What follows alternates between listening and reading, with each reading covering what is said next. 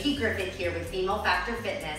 And this week I've had a lot of requests for an upper arm, upper body workout that you can do at home. So before we begin, I want to talk about the Vickie G method and exactly what that is. So I created my method around the different body types that women have. Men have these too, but I work specifically with women, so we're gonna focus on women's bodies. So first type, the gonad type, that's typically the type that gains weight, if they're gonna gain weight, in their lower body first and they stay relatively lean in their upper body in their midsection. That looks like you're pear-shaped. If you are thyroid type, you gain most of your weight in your midsection and you stay pretty lean in your arms and your legs. That's typically the, the apple.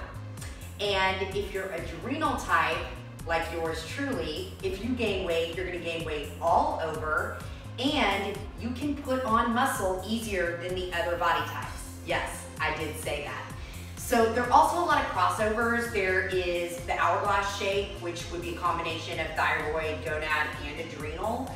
But I'm gonna talk about that in future videos, a little bit more about the Vickie G method. So let's go ahead and get started with this particular upper body workout. And this is great for whatever type you are because we're keeping it in the endurance phase, which means high reps and lightweight. So grab a pair of dumbbells between three pounds and five pounds. If you are an adrenal type, I would stick with three pounds and not go any heavier than that. Again, you put on muscle easier. So then a playground ball or a kid's ball is great uh, to have around for the different exercises, but if you don't have it, you can do it without. So let's go ahead and get started. Grab your weights, I'm using three pounds today, and you can come into a squat position because hey, don't we want to work our lower body while we're working the upper body? We're women. So let's lower down, and you can be in a regular squat, a sumo squat, or plie squat is what I'm choosing, which is the widest squat. In any case, just make sure your knees are tracking alignment with your toes. So let's find that neutral, natural arch in the back, pull the belly towards the spine, lift the chest, and engage those glutes. You can go lower if you need to in this squat position. So we're gonna focus on that upper body, focusing on the biceps here. That's what we're working all the way up to the shoulders, all the way down. Keeping the rep range high, between 15 and 20. So let's go ahead and do 10 more, and let's add a bend in the knee. Nine, go eight, go seven, press through the heels, keep the chest lifted. Six and five, go four, go three, go two, last one, bringing it back down, holding that squat position, bringing the dumbbells around and into hammer curls. So here, go as low as you want, feel you can go in that plie position and engage those glutes. Let's do about 10 more sets here. Go 10, go nine, go eight, seven, six, all the way up, all the way down, five, go four, go three, go two, and last set.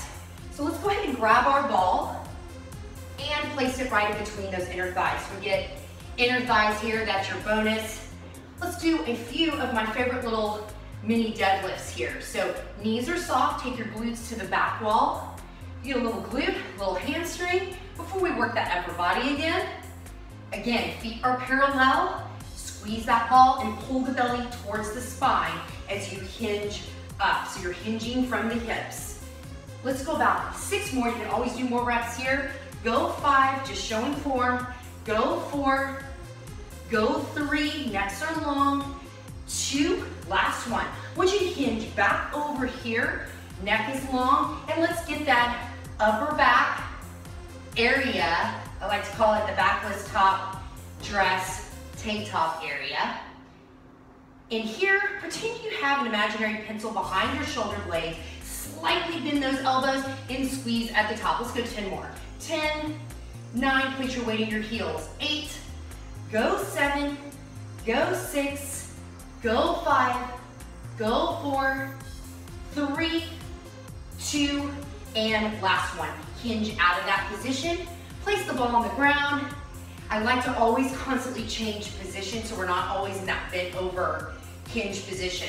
Pull the belly towards the spine, bend that knee. So we're in a nice lunge here, working the lower body again, surprise, surprise, and we're gonna close it open. Your arms are in goalpost. here, squeezing those pecs. I like to call this one the strapless top dress area exercise. Let's go 10 more and add lunge. 10, 9, dropping straight down in that lunge.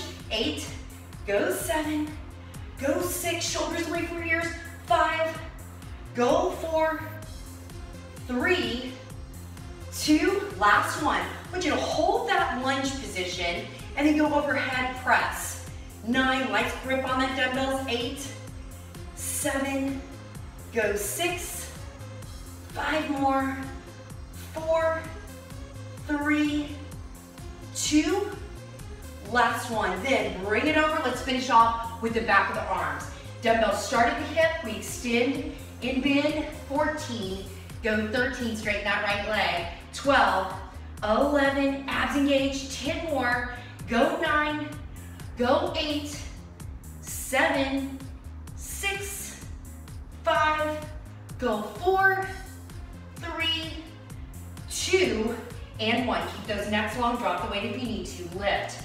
15 here, 14, 13, palms to the sky, 12, 11, go 10, 9, 8, 7, bring that chest through, 6, shoulders away from your ears for 5 more, 4, 3, 2, 1. Bring it up top. Make sure you do the other side. If you don't want to go overhead, you can work the bicep curl for that move.